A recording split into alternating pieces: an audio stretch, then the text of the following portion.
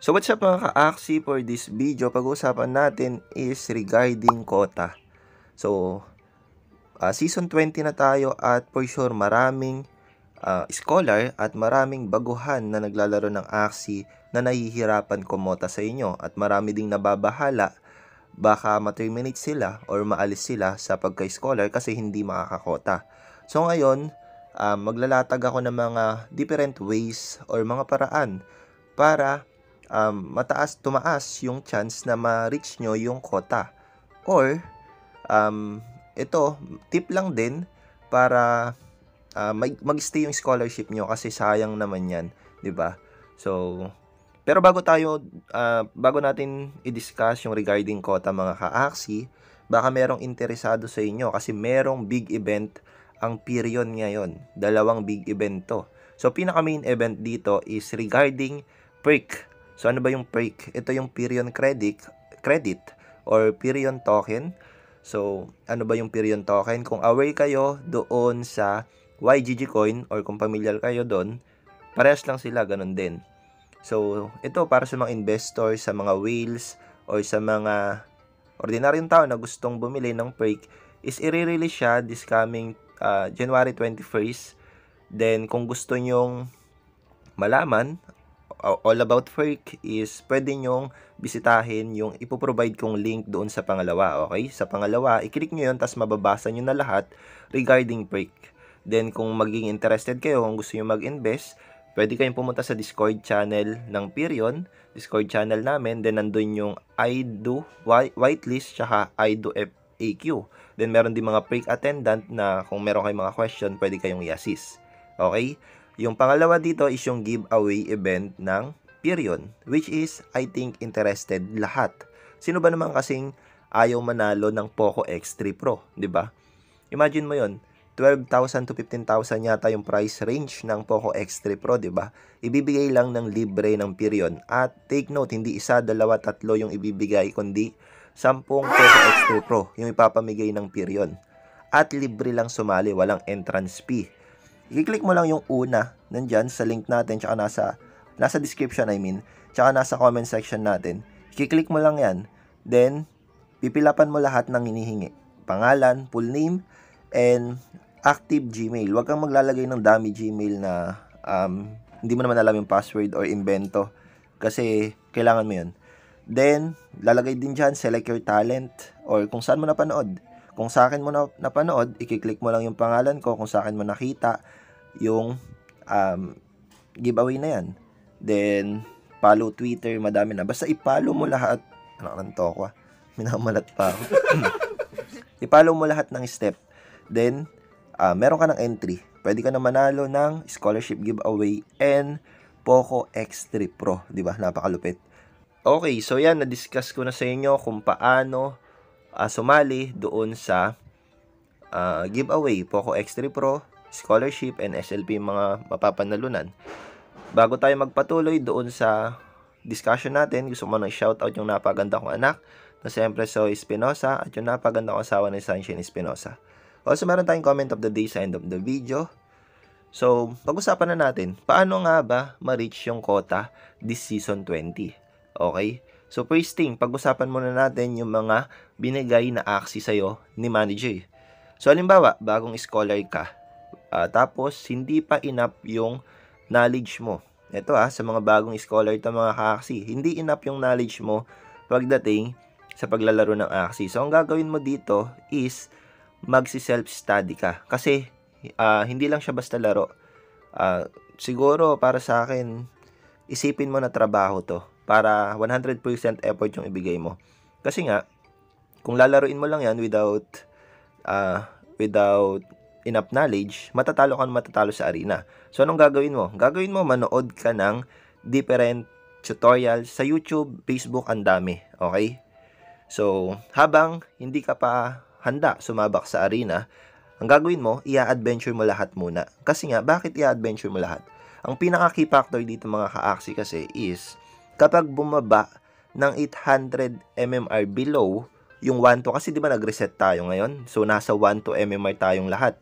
Ang nakakabahala dito, pag bumaba ka ng 800 below, is wala ka nang makukuhang SLP dito sa daily quest. Makikita mo natin dito, pag kinlik natin, anak ng toko naglalag, no? Sige, X, X muna natin.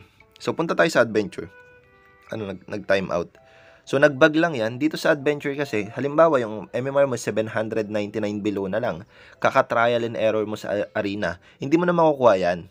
Kahit meron kang energy, pag lumaro ka sa adventure, kahit manalo ka, kung 800 below MMR mo, walang SLP na ibibigay.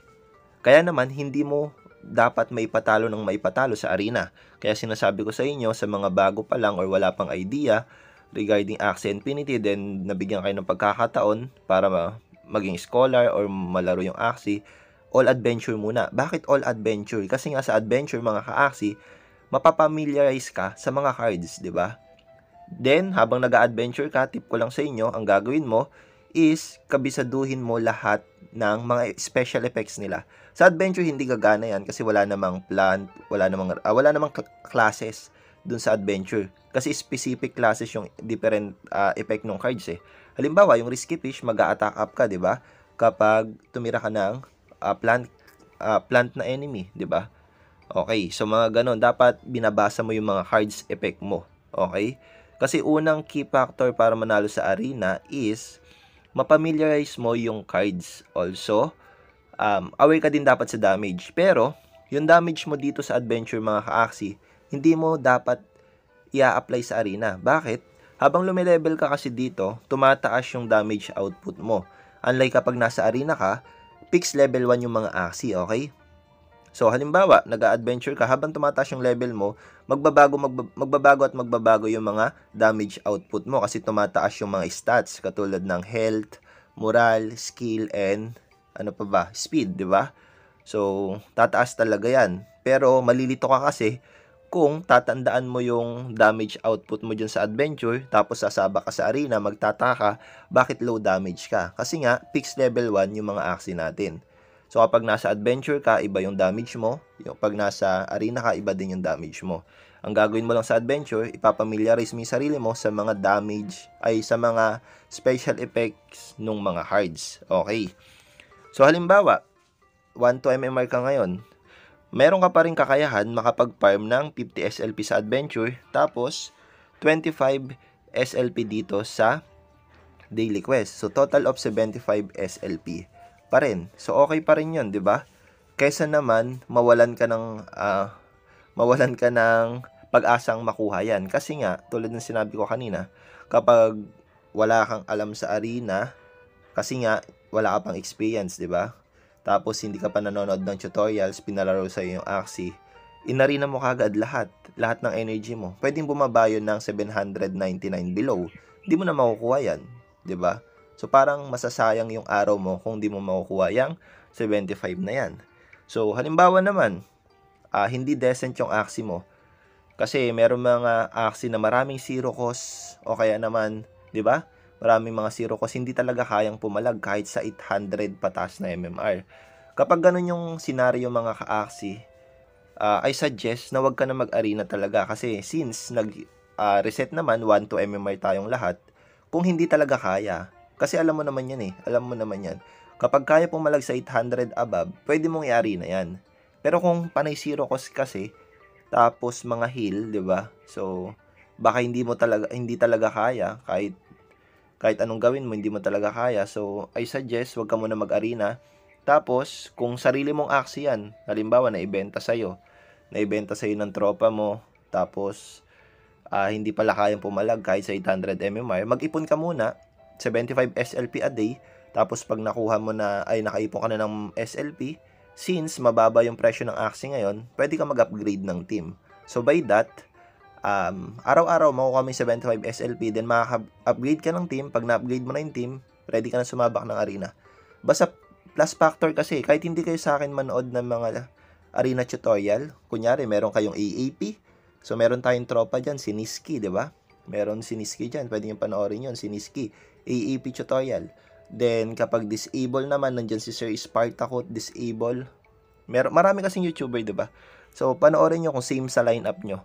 Pero kahit hindi kasi same sa lineup nyo, yung process, tsaka yung uh, kung paano niya ginagawa at paano siya naglalaro ng arena, kung ma-adapt nyo yun, yung mga pinapanood nyo, makukuha at makukuha yung strategy para manalo sa arena.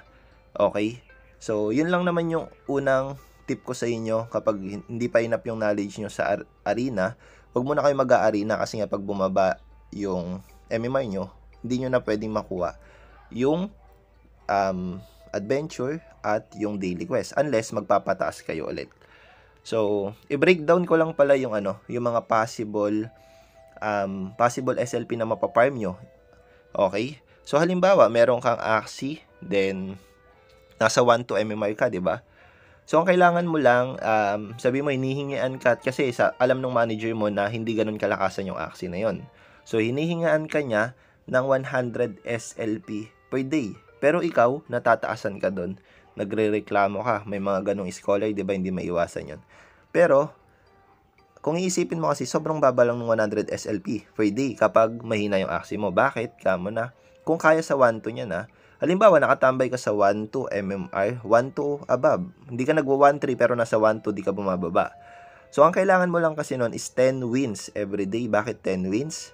Kasi nga, sa 1 2 plus 6 SLP every win, di ba? So, kung plus 6 SLP every win yon maka 10 wins ka, meron ka ng 60 doon. Sa arena pa lang, di ba? Then, makuha mo pa yung 50, tsaka 50 dito sa adventure, yung makuha mo yung 50 dito, tapos makuha mo yung 25 dito, so total of 75. So, pag add mo lang yon 10 wins lang sa arena kailangan mo, meron ka na kagad total of 135 yata kung hindi nagkakamali. 60 plus 75, 135, di ba? Over quota ka pa. So, yung iba kasi, um, natataasan sila at nagre-reklamo sila sa managers nila without knowing na uh, maliit lang naman yung hiningi ng managers nila. Hindi lang nila talaga binibigyan ng dedication at 100% effort kaya hindi nila nakukuha yung quota. Okay. So dumako tayo, sabihin mo na magaling kang play, uh, sabihin mo na um, nasa average player ka kahit mahina yung axie na pinagamit sa'yo at nakatambay ka sa 1-3. Ito yung mga potential farming lang na sinasabi ko sa inyo ah. So, nakatambay ka sa 1-3. 1-3 mababa pa rin yun mga ka-axi. Kayang-kaya nyo yun kung tutusin. Siguro mga first, kung wala ka pang, um, wala ka pang experience sa paglalaro, first week kaya mo nang kunin yun, yung 1-3 MMR. So, bihin na natin, nasa 1-3 MMR ka. So, ilan ba yung average na pwede mong ma-farm? So, stick tayo sa 10 wins. Kasi sa 1-3 above, kapag 1-3 above yung nakakalaban mo na MMR ah, Halimbawa, yung mga nakakalaban mo na MMR is 1-3 above kasi nasa 1-3 above ka rin. Plus 9 na doon mga kakasi, plus 9 SLP. So, anong ibig sabihin nun? 9 times 10 mo lang kasi 10 wins lang naman gusto mong kunin eh. Kahit 10 wins, kapag tumaas doon, edi okay. Kapag bumaba doon, di bawi next day. Ganun lang kasimple. So, 10 wins kinuha mo ngayon. 90 na farm mo, di ba? So, 90 na farm mo plus 75, so 165 SLP, di ba? So kung 150 hinihingi sa ni manager, ibig sabihin ang uh, yung aksi na yon iniisip ng manager na kaya sa 1, 3 above. Okay, ganun lang kasimple yun mga ka-aksi. Kapag hinihingian ka ng manager mo ng 150 SLP per day, make sure na yung, uh, sa mga manager pala to ah, sa mga manager, wag tayo mag-focus lagi sa mga scholar, sa mga manager, sa mga manager natin. Sa mga manager naman dyan na humihingi ng over quota, dapat alam nyo din yung kakakayahan ng mga aksi na binibigay nyo. Halimbawa, humihingi ka ng 150 SLP per day sa mga scholar mo, make sure na lahat ng binibigay mong aksi is kayang tumambay sa 1-3 above MMR. Kasi kung hindi decent aksi yan or tad-tad ng zero cost yan, hindi niya talaga makukuha yung 150 SLP per day. Pero, kung 1-3 MMR above, yung tingin mo na kayang kayang puntahan ng aksi na binigay sa bin, uh, yung ibibigay mo sa scholar mo, pwede mo siyang hingian ng 150 SLP per day. Okay? Kasi nga 10 wins lang kailangan niya, nasa 1-3, meron na siyang 90 plus 75, 165. Okay. So, e paano kung magaling yung player? Sabihin natin tumambay sa 1-5 above, 'di ba? Sa 1-5 kasi ang bigay na doon is plus 12, 'di ba? 1-5 plus 12 na kagad. So, eh, meaning to say, 10 wins lang, meron ka ng 120. 120 SLP kagad. So, plus may 75 na makuha mo sa Adventure and Arena. Ay, hindi pala Arena. Adventure and Daily Quest. So, meron kang total of 195 SLP per day. So, what more kapag nag 11 wins ka, nasa 200 SLP ka, 'di ba? So nasa 1.5 pa lang 'yun ah. So dapat tinitignan niyo yung ano, yung um, kakayahan ng Axie na ibibigay nyo bago kayo humingi ng mataas na kota. Okay? Pero kasi merong mga decent Axie na hindi talaga nalalaro ng maigi. Kapag ganon, siguro pwede nyo bigyan sa mga managers sa mga ka-Axie. Halimbawa, merong mga ganong senaryo. Alam mo na yung Axie mo, kasi manager ka, is kaya sa ganitong MMR.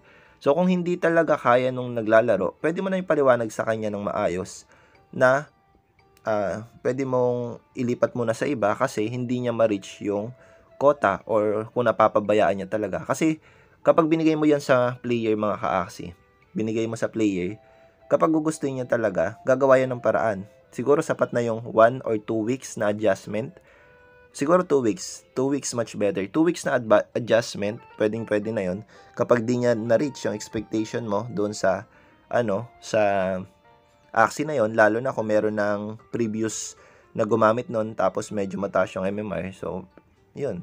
Ikaw nang bahalang gumawa ng paraan kung paano yung usapan nyo.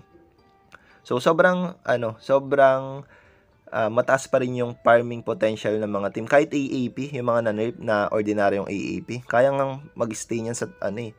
Kaya pa sa 1.8 yan eh, yung mga AAP. Kaya sa 1.8 yan. Depende na lang din talaga sa gumagamit. And again, kahit nasa 1.5 ka lang, 'di ba? Makikita mo yung um, potential na mapaparm mo, 'di ba? Pwede ka mag 200 daily kung 11 wins per day ka, 'di ba?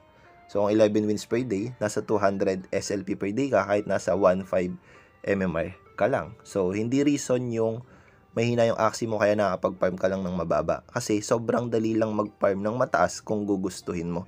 At kung meron kang goal every day. So, yun lang naman yung mga tips ko sa inyo mga ka-axi. And again, sipagan yung mag-self-study. Kasi kung hindi nyo sisipagan mag self-study, manood ng mga tutorial sa YouTube, kahit hindi sa akin eh, okay lang. Kasi marami namang tutorial dyan na iba. Kung di mo trip sa akin, maraming nag-o-offer ng tutorial regarding Axie Infinity. So, sipag lang talaga ang kailangan para makakota everyday. Kasi kung gugustuhin mo, madali lang talaga. So, sana na-motivate ko kayo mga ka-Axie na uh, improve yung sarili nyo, improve yung gameplay nyo, at improve yung SLP na na-farm nyo everyday. So, sana itong simpleng video na to nakatulong sa inyo. Sana makakota na kayo araw-araw para wala nang ma-terminate na scholar. So again, maraming salamat sa inyo mga ka-aksi kasi road to 100k subscribers na tayo. At dako na tayo sa comment of the day. Okay, unang comment of the day natin si Wawa Manlawi. Sabi niya kasi ang galing mo talaga Lods uh, gives uh, some thoughts naman kung bakit shooting song yung napili nyo instead of Dark Soup Lords. Thanks and more power. So, kapag papapiliin ako, I go with Dark Soup. So, naka-shooting song ako kasi yun yung binigay sa akin ng manager ko. Tsaka yun yung previous team ko. Hindi ako nagpalit ng team. Okay? So, kung meron tayong choice na magdo-Dark Soup, I go with Dark Soup. Kasi nga nanerf yung shooting song. Then, yung Dark Soup kasi is sobrang high potential ngayon. Okay? So, yun. So, kung gusto nyo mamili, kung papapiliin ako, Dark soup tayo, dark soup. Okay. So, pa parang paulit-ulit yun, no? okay, so hanap tayo. Ito, si, ano, si Senpai Bu. Sabi niya, grabe, dami ko natutunan. Thank you, boss. Shoutout sa'yo, Senpai Bu. Salamat sa panonood at good to know na marami kayo natutunan. Then ito si Sir James Pedrick Gutierrez. Isa, isa to sa mga unang subscribers natin. Nanonotice ko talaga and nakakatuwa kasi still nag-change na tayo ng content, nandito pa rin siya. Sabi niya, grabe men, konting-konti na lang, 100k subs ka na. Solid subscriber mo na ako since MU Origin 2 hanggang ngayon. Yung MU Origin 2, isa siyang RPG game. Doon ako nagsimulang gumawa ng content din. Until now, nandito pa rin si Sir James Frederick. Sobrang solid. Shoutout sa iyo, sir. Salamat. Then, ito naman si Mumin Samda. Okay, napakaba ng pangalan niya. Sabi niya, Happy New Year, Idol. Visible, visible po ako palagi sa mga video mo pa-watch-watch lang ka-aksi pero ngayon mag nag-comment na ako. Nagbabaka sakali lang ako. Salamat sa mga video mo ka-aksi. Kahit bird lang ang pareha natin pero dami kong natutunan sa bird attack mo. Yan. Shoutout sa iyo sir. Salamat sa pangmalakasang comment at salamat sa panonood. And hanap pa tayo ng isa. Last na isa shoutout natin. Eto, si Dalin Manarin. Sabi niya si Lods, ano mas prefer mo gamitin? Yung Dusky Beast mo o si Mech Beast? Palagi ako nanonood ng videos mo, idol. Parang goods naman, bot. Gusto ko lang malaman prefer mo based on experience. Para sa akin, um, kapag sa low, ah, si Dusky, si, yung Dust na ano, si Dusky, yung mas gusto ko. Pero, kung bibili kayo, para sa akin, um, yung Mech. Bakit? Kasi, medyo mahirap i-handle si Dusky kasi card dependent siya. Lalo na kapag maraming ah, discard yung kalaban mo. Pero sa akin kasi favorite kong ginagamit talaga si Dusky. Okay? So, depende pa rin sa inyo. Pero kung ah, gusto mo yung mas mataas yung damage, tapos kung hindi ka sanay maghintay ng mga cards kasi card dependent yun, di ba? So, kailangan niyang combo. So, kung di ka sanay sa ganun, maghihintay ng cards is go with mech. Okay? Pero again, maganda yung question ni Sir Dalin Manarin. Pero Dusky pa rin ako. Kasi yun yung ano eh. Si Dusky or yung Aqua natin na Blue Beast. Sobrang pan na pan din talaga ako ng Blue Beast kasi doon tayo nakilala eh sa Blue Beast. Yan, shoutout sa Sir Dalin Manarin. At again, maraming salamat sa inyo. Kung may natutunan kayo, huwag niyo kakalimutan mag-subscribe. At sama niyo na rin yung notification bell para ma-notify kayo every time na mag-upload ako. So, again, maraming salamat. Hanggang dito na lang. Bye-bye!